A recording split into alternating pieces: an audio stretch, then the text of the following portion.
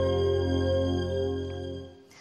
Здравствуйте, меня зовут Екатерина Семыкина. Это проект «Что делать?», где мы обсуждаем самые актуальные для города и горожан вопросы. И сегодня говорим о росте цен на лекарства, который начался в Петербурге. Всего за месяц некоторые медикаменты подорожали на треть. Продолжится ли эта тенденция или будет как-то остановлена, к чему готовиться и что делать всем нам, обсудим с сегодняшними гостями. И в нашей петербургской студии я приветствую Александра Петренко, генерального директора исследовательской компании «Грифон Эксперт», Дмитрия Чагина, директора некоммерческого партнерства «Медико-фармацевтические проекты 20 21 век. Ирину Батузову, корреспондента газеты «Санкт-Петербургские ведомости», отдел социальных проблем, и Анатолия Головаса, председателя Союза потребителей России. Ну а на прямой связи с нами в нашей московской студии Павел Воробьев, доктор медицинских наук, заместитель председателя формулярного комитета. Здравствуйте, уважаемые гости. Но я предлагаю начать с мнения горожан. Они у нас записаны о том, как люди заметили в Петербурге и заметили ли рост цен на лекарства. Давайте посмотрим. Стандартная корзина, она стала дороже, чем была раньше. На лекарства, но, слава богу, пока здоровье позволяет обходиться без них. Но бабушка, допустим, говорит, что да, лекарства стали дороже. Я особенно заметила рост цен перед Новым годом. Ну, а сейчас я не знаю, сейчас я этого не заметила. Все вроде бы стабилизировалось. Ну, просто, э, наверное, скупили все лекарства, и просто лекарств нет. Вот, по старой цене. Наверное, будем ждать подъема цен. Но вот видите, вроде как пока люди не паникуют, но готовятся к худшему. Анатолий Григорьевич, а вы заметили рост цен на Значит, э, я заметил и рост цен, и рост потребительского спроса. То есть вот э, у нас э, две категории жалоб. Первое, люди говорят, многие действительно лекарства выросли. Да, в течение года тоже они росли, и рост, по нашим оценкам, инфляция вот в... Ну, инфляция 11,5 11,5 это как бы по всему. Да. Это лекарства, продукты, автомобили, э, жилье. Вот если все вместе в корзину сложить, 11,5. Продовольствие как минимум 20, да. лекарства как минимум 30. И вторая жалоба – очереди. Потому что народ бросился закупать лекарства впрок. Э, к сожалению. И, это тоже разогрело цены? Или нет? И, на самом деле и это разогревает цены. Почему? Потому что э, лекарства по старой цене, закупленные аптеками, кончаются, а новые постановки идут по новым ценам. И, э, соответственно, э, встают проблемы у потребителей достаточно серьезные. Так, Александр Владимирович, угу. эти серьезные проблемы, которые перед нами встают, вот каков их масштаб, чего нам ждать в ближайшие месяцы в, аптеках? Ну, официальная статистика в лице Росстата говорит о том, что лекарства подорожали на 13%. Ну, Но разные лекарства. Это, естественно... Кто-то на 30 подорожали. Естественно, реальность совершенно другая, да? Э, наш рынок, он очень специфический рынок лекарств. Э, более 50%, ну, в районе 50% э, принадлежит западным игрокам. То есть это импортное лекарство. 50% от ассортимента и где-то процентов 70 75-80 денежной массе, потому что импортные лекарства намного а дороже мы свои наших. производим не из импортных компонентов? А вот э, э из нашей доли, да, э, процентов 50-55 составляет, соответственно, э, импортное сырье. Да, и смотрите, если 50% рынка западной, да, э, если 50% сырья отечественных производителей, то насколько должно подорожать, насколько должны подорожать лекарства из-за девальвации, практически стопроцентные, да, за год. То есть 50-100% должны мы ожидать в ближайшее время повышения цен. То есть в два раза могут ну, они практически в два раза, да. Если ничего не будет ничего сделано... Себе, Дмитрий сверху. Алексеевич, согласны с этим? Знаете, основная проблема заключается в том, что у нас многие цены на лекарства не пересматривались с 2009 года. А, мы будем говорить в дальнейшем по поводу группы жизненно необходимых и важнейших лекарственных препаратов и по поводу рецептурной группы. Это, пожалуй, основная группа жизненно необходимая. На них не пересматривались цены? Конечно. У нас на отечественные препараты, на отечественные препараты, я говорю об этом, и основная проблема в том, что сейчас хотя бы мы поднимаем голову по поводу именно отечественного производства. И, слава богу, Петербург столица фармацевтики. Так а поднимаем всегда... ли мы ее, если мы из западных компонентов делаем вот на 50%? Давайте мы сейчас вот... Э, основная проблема в том, что у нас действовали выработали методики 2009 года для отечественных производителей по фактическому закреплению цены. И у нас были просто поразительные вещи. Когда, например, тот же атропин, который стоил 8 рублей, его 8 рублей, э, вот такая была заявлена цена по этим методикам, с каким-то трудом его удалось повысить хотя бы до 13 рублей. У нас, когда регистрируются импортные препараты, то проводят сравнительную аналитику, за сколько эти препараты продаются в странах Европы. И просто вот смотрят, какая там продажная цена. И так появляется цена на импортные препараты. И, как правило, они в два, а то и в три раза изначально зарегистрированы э, дороже, чем отечественные. Поэтому отечественным производителям зачастую просто невыгодно выпускать эти препараты. Я знаю компании, которые закрыли свои цеха, им гораздо выгоднее платить две трети заработной платы за простой своих цехов, угу. чем терпеть убытки за производство недорогих отечественных лекарственных то есть препаратов. нужно повышать цены на отечественные препараты. Нужно пересмотреть немедленно. Это ну, преступная методика. Повышения. Это преступная методика оценки отечественных препаратов. Когда у нас компании приезжают и на уровне Минздрава доказывают цену, приезжая с томами туда, где они доказывают себестоимость. И Минздрав еще думает, каким образом все-таки эту оценку сделать. У нас официально эта методика имеет право пересматриваться, и компания пересматривает цену один раз в год, и не более, чем официальный коэффициент инфляции. За все эти годы коэффициент инфляции был 5%, в этом году 11,5%. Если стоил 10 рублей, то будет стоить 10-30. Компании многие просто не будут производить дешевые лекарственные препараты. И мы останемся без лекарств. Павел... Аптечным сетям невыгодно работать с дешевыми, понимаете? Ну, конечно, Абсолютно. Одно дело, э, Другое наш дело, отечественный что... стоит там 20 рублей, да, западный аналог стоит 300-400 рублей. Да? Что будут продавать и что будут рекомендовать да. в аптеке? Павел Андреевич, а вот э, смотрите, к чему мы пришли, да, что неизбежен рост цен на лекарства, и не только из-за там, девальвации рубля, санкций и всего остального, из-за того, что действительно и, иначе не будут производиться дешевые лекарства вообще, иначе их вообще не будет, если не повышать цены. Так вот, правильно ли это, к чему готовиться потребителям, или, может быть, есть все-таки какой-то способ сдержать цены? Ну, способ очень простой – перестать продавать лекарства. Ну... Во всем мире лекарства не продаются, а отдаются пациенту бесплатно, а за него, э, за это лекарство оплачивает государство или страховая компания. В этом случае все разговоры о том, что цена растет в аптеке, становятся бессмысленным. Подожди. Речь идет только о жизненно важных, основных лекарствах, не о всех, естественно. Но в этом случае государство регулирует цены, договариваясь с поставщиками. Согласны с этим, Анатолий Григорьевич? Э, вообще, я люблю идеалистов. Идеальные картины, они замечательные. Э, и э, наш московский собеседник обратил внимание действительно на одну серьезную проблему. У нас, наверное, две трети лекарств используются нашими пациентами в ходе самолечения. Вот если бы у нас медицина действовала идеально, и ты мог прийти, э, попасть нормально к врачу и получить рецепты, получить лекарства, это было бы замечательно. И тогда действительно вот эта система могла работать. Но у нас, обратите внимание на рекламу, полно медицинских, э, полно рекламы разных лекарств. И значительная часть наших граждан – вот спросите э, в аптеке, вы покупаете по указанию врача или вот вы насмотрелись рекламы и покупаете? Значительная часть людей покупает лекарства не по показаниям врача, а потому что вот увидели рекламу. Ну да, или, да, там... да, конечно, понятно. Мало фармацевтические компании, они работают с аптеками, CS Promotion, Trade Promotion, да, и не факт, что э, когда вы пойдете, вы идете в аптеку, да, вам говорят, соответственно, не по э, лечебным свойствам там какого-то препарата, а по вашей платежеспособности, да, и предлагают одинокий аппарат 500 рублей, нет, дорого для меня, 200 рублей, ну вот ладно, наши отечественные нашли за 30, неохотно отдают, да. Мало того, вы идете к врачу, с врачами работают компании фармацевтические, рецепты выписываются, естественно, самые дорогие. Ну, естественно, не, не, нет. да. Сейчас, слава богу, нет, благодаря вмешанию Федеральной антимонопольной службы, да. это запрещено.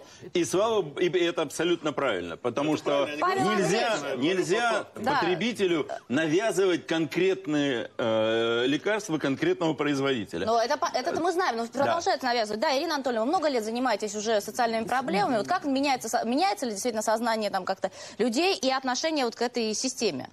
Вы знаете, я как бы стою на стороне все-таки потребителей. Конечно. Мы все здесь на да, стороне потребителей. Ну, нет, есть как бы, я понимаю, фармкомпаниям, которым тоже тяжело выжить на этом рынке, но я считаю, что должен сегмент каких-то дешевых лекарств оставаться и быть неизменным, потому что, ну, иначе человек может пережить там без каких-то там сыра там какого-то дорогостоящего, может пережить без продуктов, но он не может пережить без лекарств. В данный момент, недавно нам звонила женщина, ну, в городе, я просто обозначиваю тему, э, нет инсулинов. Ну, я хочу сказать, что есть разговор профессионалов. Э, вот Чагин, господин, говорит абсолютно профессиональные вещи и подтверждает мои тезисы. а есть непрофессиональные представители э, покупателей. О каком рекламе может идти речь, если она запрещена? У нас реклама э, лекарств запрещена. А скрытой рекламе? Только БАДы. И, если а скрытая реклама не доходит до потребителя, извините. Поэтому это просто глупость. Люди у нас занимаются не самолечением, они от врача получают бумажку вместо рецепта и покупают лекарства. Вот. Это недопустимо. Нигде в мире, нигде в мире, во всех развитых и неразвитых странах нет продажи лекарств. Вы не можете купить лекарства. Только получить по рецепту. Это единственный способ. Анатолий Григорьевич. Это важное Ну, лекарство. и это не во всех э, я не знаю, где у нас запрещена реклама, ее полно лекарственных препаратов. По радио. Э, И по Мой радио, и по телевидению, везде есть. Не надо говорить, мы давно боремся за запрет этой рекламы, Союз потребителей, потому что мы, э, вот наша позиция принципиальная в этом плане. Но ситуация действительно, э, я сторонник такого подхода. Я бы предпочел, чтобы лекарства действительно Не продавались. не продавались, а человек получал их. Но для этого вся система должна работать. Невозможно навести порядок только с лекарствами. А если человек приходит в поликлинику и не может месяцами попасть к врачам, а жалобы полно на это. Ну да, у человека болит это. голова, ему нужны таблетки от головной боли. Вот что, он не может попасть к врачу, что он должен? Он идет в аптеку и занимается самолечением. Спрашивают ему, говорят, вот Да, фармацевт выбирайте. говорит ему то, что- да. Ну, о знаете, вы знаете, позиция- вы знаете, позиция- продавать лекарства. А, Ну, кстати, вот э, в супермаркетах, если Вот, будут э, продавать если лекарства. продавать лекарства, как там, я не знаю, любой другой продукт. Ну, Ну, вы же о чем понимаете, говорим? супермаркеты хотят продавать лекарства только потому, чтобы закрыть то окно, которое у них образовалось в связи с отменой конечно. э, э, продажи э, э, никотина, правильно, сигарет. Э, Они Ограничения, продают? да. Ну Они да, ограничения. продаются. Вы знаете, если бы вот Павла Андреевича послушали года два тому назад, он всегда говорил эти вещи. Мы сейчас встали перед результатом, который получился. Ну вот я э, присутствовал и в течение двух лет, и когда это еще даже намека не было вот на санкции, на все эти проблемы, это действительно была вот нормальная и четкая позиция о том, что, ребята, вы, конечно, извините, но мы должны хотя бы жизненно необходимые важнейшие лекарственные препараты и рецептурный весь этот блок, который закупается, чтобы это хотя бы каким-то образом была, может быть, та же фиксированная цена, но уже конечная. Даже не цена от производителя, а фиксированная конечная. То есть Я скажу- Я скажу вот продавать, конкретный пример, который есть. У нас действительно сейчас очень динамично открываются заводы, лаборатории в Петербурге. Мы вовремя еще где-то успели понять Приятно это все. слышать. Пять Хоть лет тому назад вот была наша ассоциация создана, и туда вошли только отечественные производители. Но именно с целью лоббизма этой отрасли. Потом мы доказали, что Питер столица фармацевтики. Производители заинтересованы, чтобы их товар продавался. Нам надо том, убрать, нам чем- надо убрать логистический дурацкий процент 20% Что мешает логистики. производителям, что мешает в конечном счете потребителям, обсудим сразу после рекламы.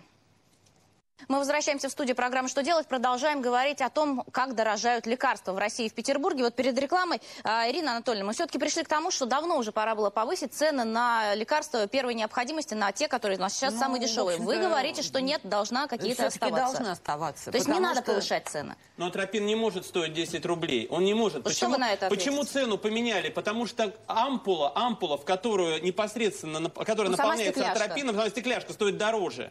И компании, вот я вам хочу сказать, что если бы компании имели нормальные договорные отношения на уровне государства, и они понимали, что и дорогостоящие препараты у них в определенном объеме покупают, и есть линии, которые выпускают жизненно необходимые и важные лекарственные препараты, тогда в этом случае они внутри своих компаний делали бы какой-то определенный баланс. Но мы работаем с тем, с чем есть. Вот С тем, да, с чем есть. недоверие государства со стороны бизнеса, все это мы уже знаем. Вот, э, Ирина Анатольевна, в связи с этим, ваш рецепт. Да я вот, э, честно говоря, не могу давать рецепты вот фармкомпаниям, потому что, ну, Ну, как действительно, потребитель, как человек, который за этой потребитель, проблемой я следит. считаю, что все равно линейка каких-то дешевых лекарств должна оставаться, иначе, Даже в иначе- ущерб компаниям, в ущерб там, Ну, бизнесу. Вы знаете, сделайте фиксированную цену, фиксированную Подождите. цену продажи, фиксированную цену закупок. Вот сделайте фиксированную цену закупок Да. на конкретные лекарственные Сейчас, препараты. Зафиксируйте ее. Да, хочу ответить. дополнить, что, например, лечение вот в данный момент там простой простуды, там сезонного гриппа обходится 3-5 тысяч. Ну, невозможно, ребята, если это А если с люди- походом к врачу, то и да, больше. с походом врачу я не знаю, наверное, больше. Но не каждый человек, который обнищал, ну, действительно, он сейчас как бы идет, ну, общая тенденция к тому, что люди, ну, тратят больше денег на продукты, на э, какие-то жилищные условия. Не, не каждый способен заплатить такую сумму. Что тогда идет человек? Он заниматься будет самолечением, однозначно. Он не будет заниматься Он пойдет каким-нибудь народным Самолечением, ц- ему дорогие целителем. средства и рекомендуют в аптеках, понимаете? За которые имеют проценты, и сами продавцы в аптеках и так Нет, а далее. если действительно Ведь он эта пойдет к целителям и будет болеть? крупных фармкомпаний. Вот у нас, ну, наверное, десяток было исследований. В основном, конечно, западные компании нам заказывали исследования. Мы берем экспертное интервью у врачей постоянно. Все время делаем ритейл-аудит аптек, сравниваем что-то, людей опрашиваем, которые болели. И, на основе этого, э, понимаете, вот, допустим, боярышник и шиповник, да, который стоит там ну, 20-30 рублей, может быть, да, западные компании следуют рынок, да, и уже выдают их смесь, и здесь делают, допустим, э, я приведу просто абстрактный какой-то пример, э, красивая упаковка, и, соответственно, это там э, Цена чистые вдвое. сосуды, там, да, ну, 650 рублей, уже 250 рублей, да, А тот же мы самый состав можем? фитнес, э, Ну, общеукрепляющий и так далее. То есть вот эта маркетинговая да. надбавка. И очень часто же, когда э, мы наблюдаем, да, что да, есть российские, российское лекарство стоит 50 рублей, да, аналог 800, 700 даже. Вот такие мы по значит, ритейл-аудиту недоверие. делали Но люди сравнение. уверяют, что вот аналог э, лучше Вы знаете, у помогает. нас, у нас передача «Что делать?», правильно? Что Да, делать? Значит, да, вот что конкретно что делать? Фиксированная цена при государственных закупках на препараты. Фиксированная цена. Э, удается купить дешевле, значит дешевле. И фиксированная цена не от производителя, а фиксированная окончательная цена А тогда продажи. как дешевле? Тогда во А всех когда аптеках как должно Тогда всё Очень просто да. фиксированная цена. Производитель должен, с одной стороны, понимать, за сколько он продает этот препарат, и вы должны иметь фиксированную окончательную цену и убрать вот эти маразматические проценты, 20%, 25% от субъектов на логистику, на поставку. У нас могут быть индивидуальные, типа там Ямало-Ненецкого округа или еще какие-то отдаленные регионы. Но какие у вас переправы и тяжелые реки в Москве или в Санкт-Петербурге для того, чтобы логисты имели еще 20% накрутки на то, что они забрали препарат от производителя и привезли его до аптеки. 20%. Им выгоднее вести дорогостоящие Ну, препараты, чем да, вату да, да, и хорошо. все остальное. А Мы кто живем же- все-таки при капитализме, не при социализме. Как можно обязать логистические компании брать за услуги не 15 там, процентов, а 5 процентов? Ну да, они ж не государственные. Э, Сети частные все. У нас нет государственных. Ну, что значит Зафиксируйте, окончательную цену продажи. Вот и все. И посмотрите, что Может быть, произойдет. это одно из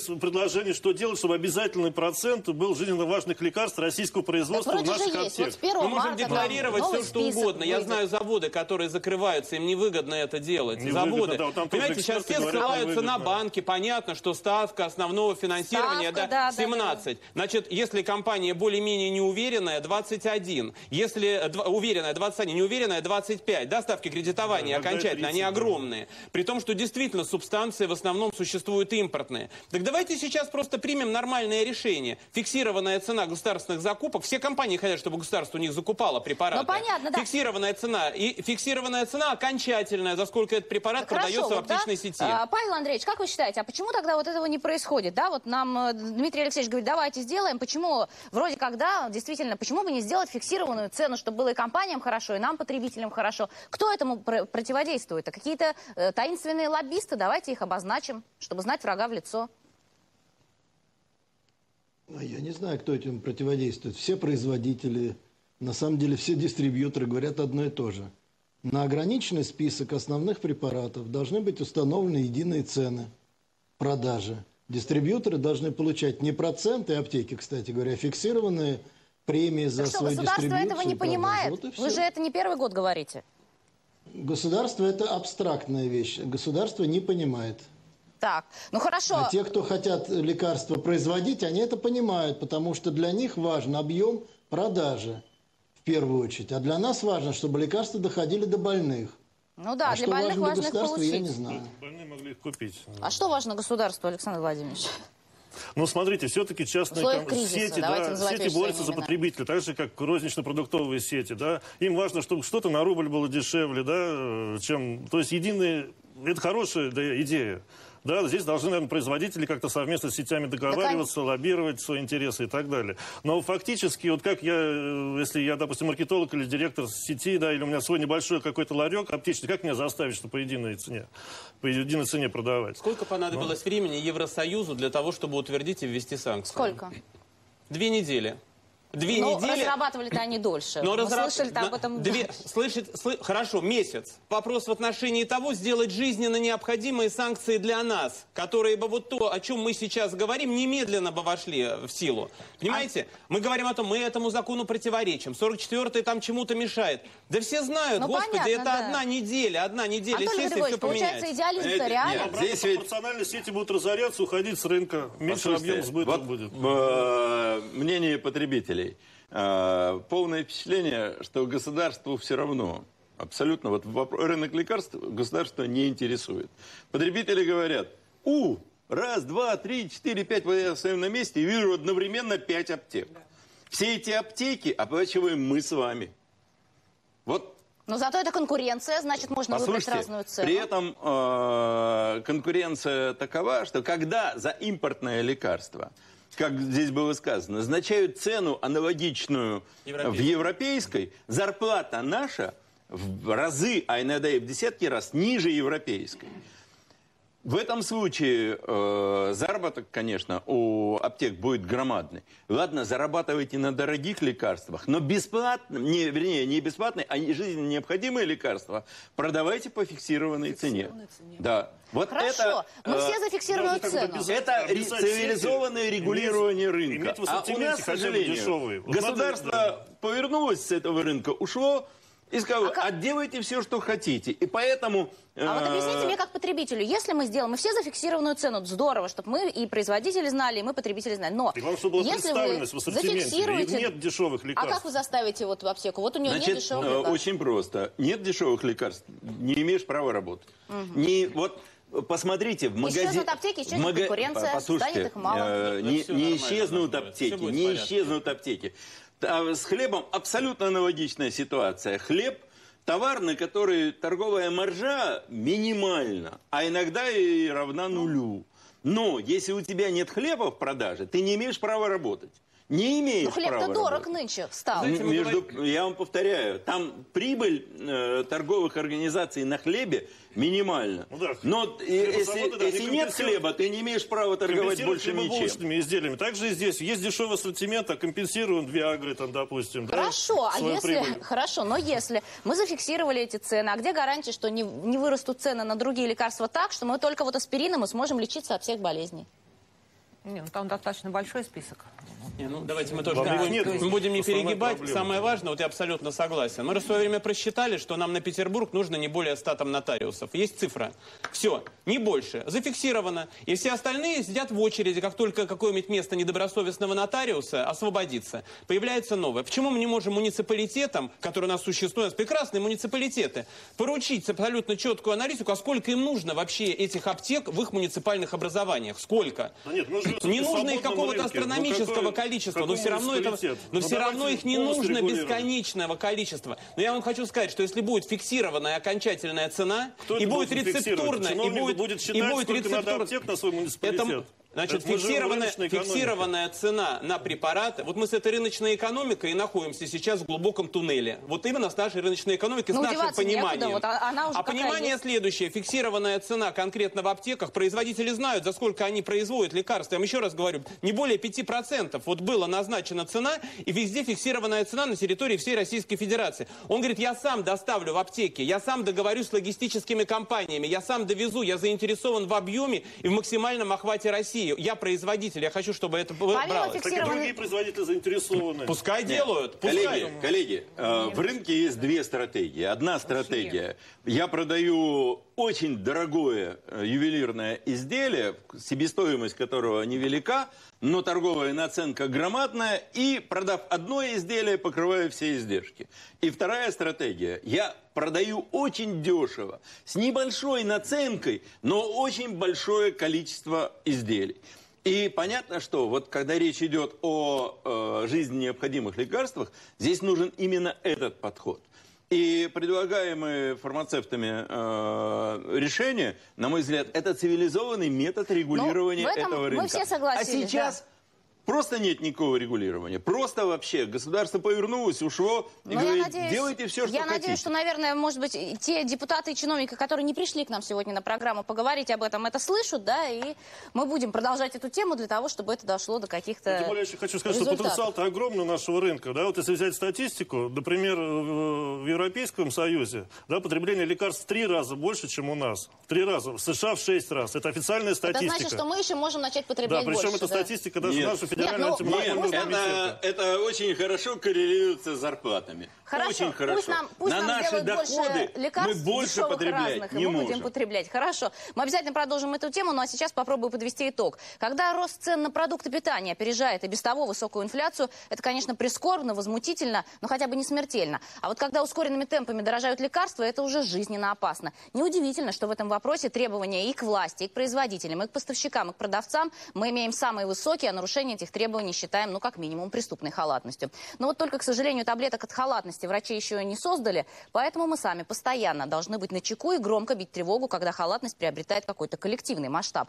Ну и практический совет для петербуржцев. Перед покупкой, особенно если собираетесь приобретать достаточно дорогие лекарства, обзвоните аптеки. Можно обратиться в городскую справочную службу. Телефон 635-5566. По этому же телефону, кстати, можно узнать о наличии препаратов для льготных категорий. Будьте здоровы. Это был проект «Что делать?». Меня зовут Екатерина Семыкина. На сегодня я с вами прощаюсь и передаю слово Светлане Шкиль.